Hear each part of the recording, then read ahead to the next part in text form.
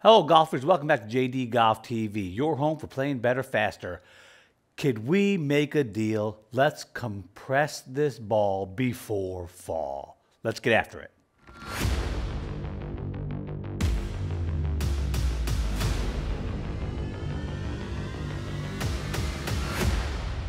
What is required to compress a golf ball? Compression is the golf ball smushing against the face of the golf club. And, well, I guess the first thing is what makes it happen in the first place? The club shaft is leaning forward. We're going to take our iron and de-loft it slightly. So whenever I hit the golf ball in the middle of the face, okay, fine.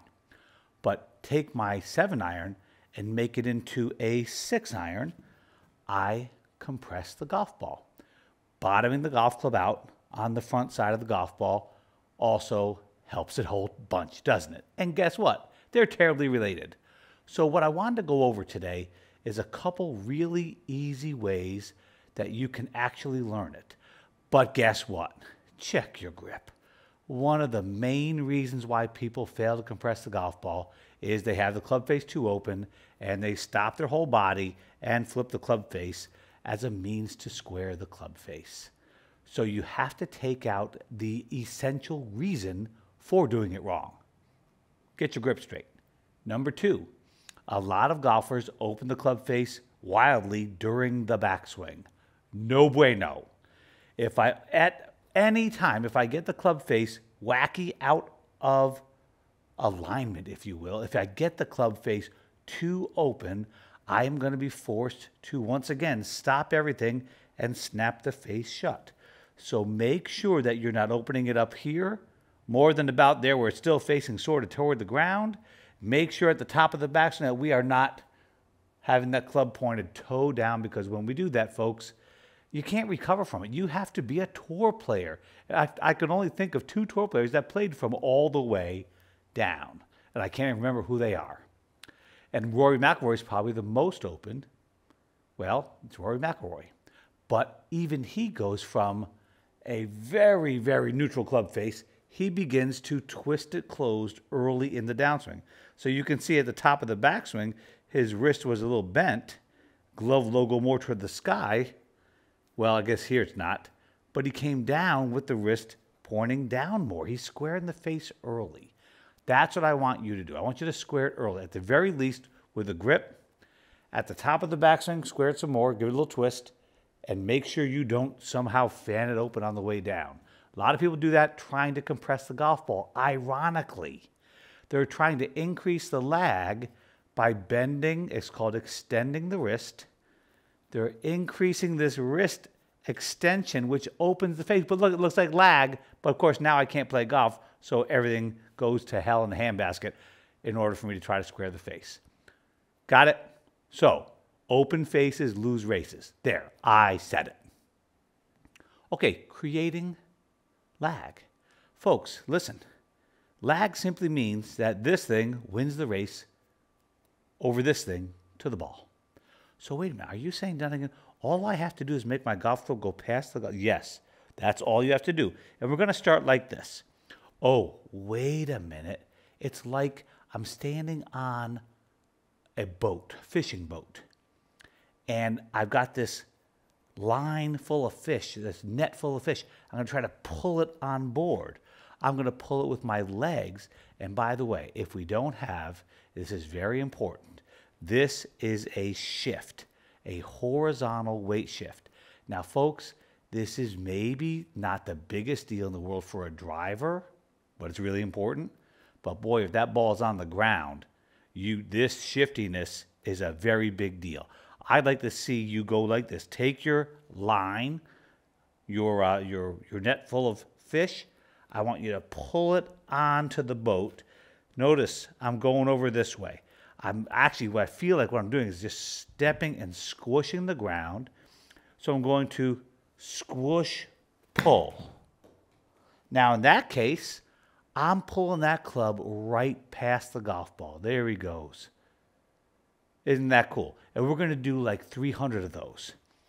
You're going to notice something really, really cool. I'm going to go back here. I'm going to squish and pull the club right past the golf ball, and that's helping me turn my torso through the golf ball. Okay? So what we do, we have our little video. Okay, the hands went right past the golf ball. All right, here we go. We're back. We're squishing and pulling and actually turning. Oh my goodness, he's going to do squish, pull, turn. Here, squish, pull, turn. Oh baby. Now that thing got compressed. Now if my ball goes off to the right, well, can you do this too much? No offense, you probably can't. But yes, there are some people who can. That ball went right, and what's that a sign of? Did I did I have too much forward shaft lean? Yes. If you had indeed too much forward shaft lean, the ball would not get airborne. But you have no speed yet, right? I mean that golf ball 50 miles an hour.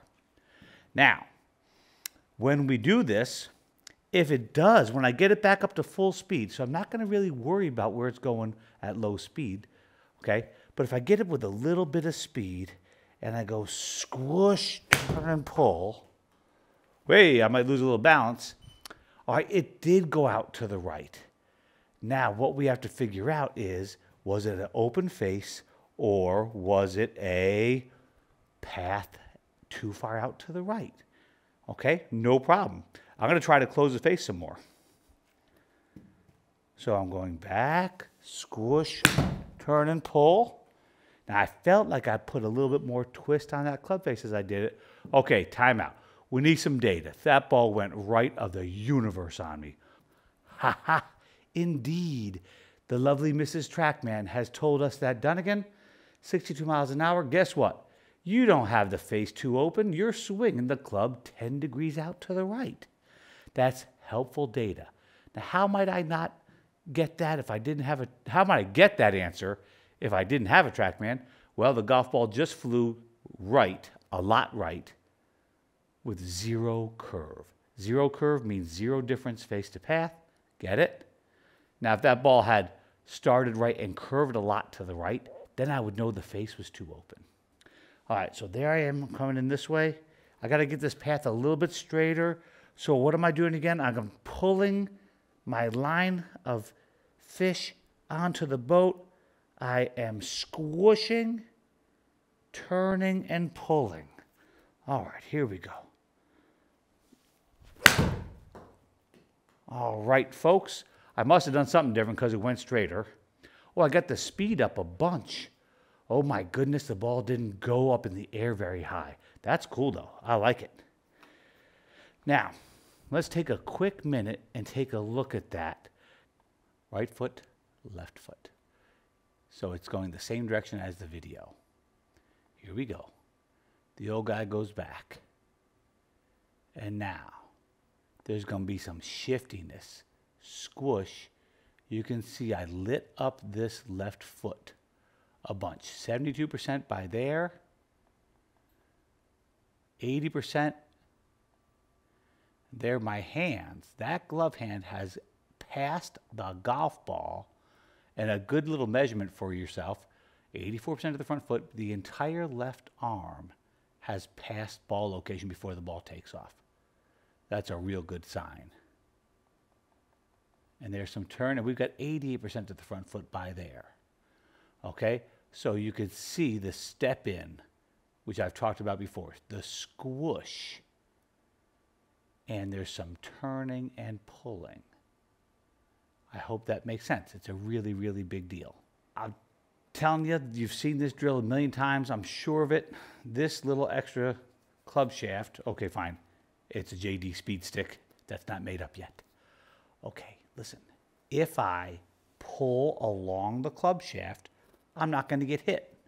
I used to call this the beaten stick because I had another shaft stuck out of here and it was hard. So when you actually threw the head too soon. If you had too much push against the shaft, you get a beaten and you get some feedback. Well, negative feedback for doing it wrong and positive feedback, no beaten. Reminds you of growing up as a kid. All right, so here we go. Get that right under so it should fit in there kind of nice. All right, we're back. And I need to keep pulling the handle along the long end of the shaft keep pulling it, and it ends up, I end up pulling it actually down and then up and around. Except I'm not pulling it up like this. I'm not doing this into impact. I'm standing up a little bit. I'm raising my shirt buttons up. Here we go. Back. There we go. That's a great drill. Never touched me. And I'm feeling the squish, crush that ground. Okay, crush it over this way. Turn and pull. Okay, and that is sort of the sequence. It's a really good sequence for you. It goes back to our shift, turn, lift, but we're adding some what we want to do to the handle of the golf club. When you get to the top of the backswing up here, you have to be super sensitive, and I need you to do it wrong. I need you to push up against the club shaft, okay? We're going to do that here for you right now. We're going to go up, back, push up. Folks, how do you do that? That feels just like I never played a sport in my entire life. There it goes. Oh my goodness. I have to shake that one off. I may have to have a beer. Okay, now take the same guy and instead of pushing up against it, I need to feel like I'm pulling along it. I'm pulling the Q-tip out of my ear. I'm pulling it backward and downward and a forward and aroundward. Okay? I'm pulling it, a little like I'm playing the violin here. Pull it, pull it, pull it, pull it. All right? Two finger grip.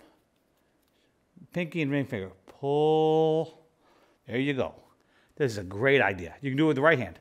Pull and pull up. So you can see the pull direction is going backward first, isn't it? And then it goes all the way around. Hey, look at that. There's my shot. All right, now we do it correctly. We're back. And that pretty much had the whole thing. Boy, oh boy, oh boy, that ball went really, really low. Now, when you're doing this, if you do overdo it and the ball starts going really low, no problemo. Check your ball position. Is it too far back? Okay.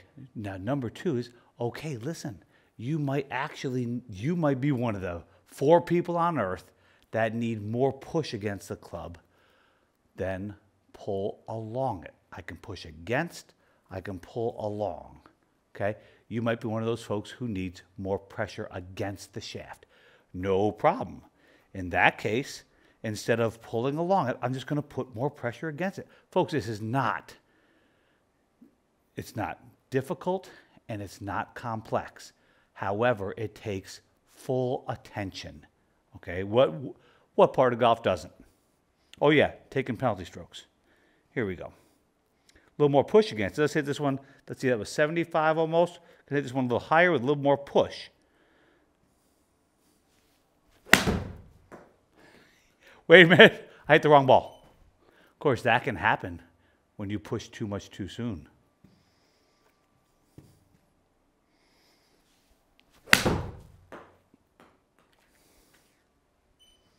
All right, that went way, oh, I swung fast, that's cheating. It went quite a bit higher based on how I'm applying force to this club. Remember, folks, all you get, you get pulling, pushing, twisting the face open or closed, and tilting the shaft. I want you to start at 50 mile an hour golf swings, pull that net full of fish, pull, squish, pull, turn and progress upward. You can do this. Please, while you're doing it, do not move the ball back in your stance. That would be cheating. But if you're in the middle of a round of golf and you're hitting it fat, cheat. Put the ball back in the stance. Hit them great. Get after it.